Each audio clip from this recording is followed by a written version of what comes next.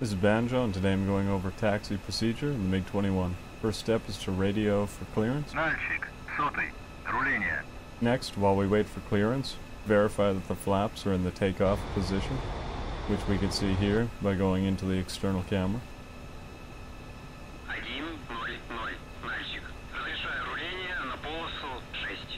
With clearance from the ATC to proceed, we can now throttle the engine up until we start moving.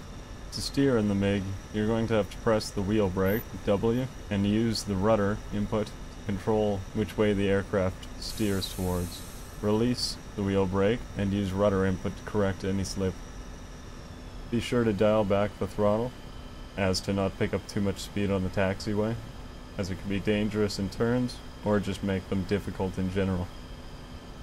As I approach the final turnoff onto the runway, I'm going to hold in the wheel brake again, and I'm going to use right rudder input to steer the aircraft onto the runway.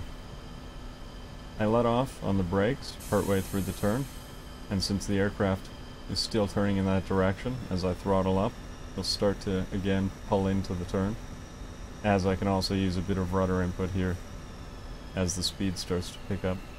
And finally, as I get onto the center line, I'm going to throttle back and hold in the wheel brakes. At this point, we're ready for takeoff.